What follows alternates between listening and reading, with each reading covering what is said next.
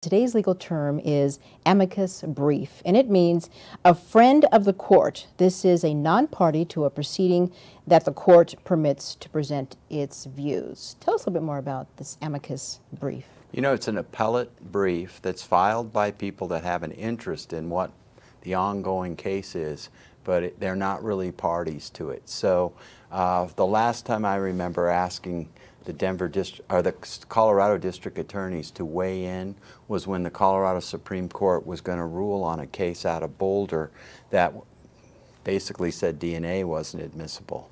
And so I, I called the prosecutors, the organization, and said, you know, you really need to write a brief to support the fact that this is admissible.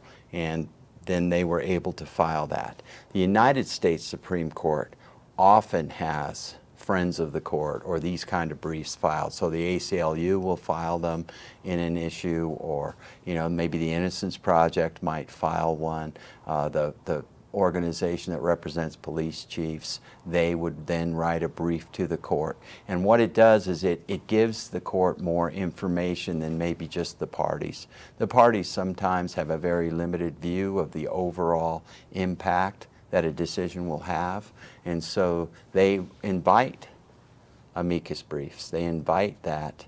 And so they really get to see the whole picture and how this will impact different organizations and different groups of people when they come down with their decision. Hmm. Okay, good to know. Thanks.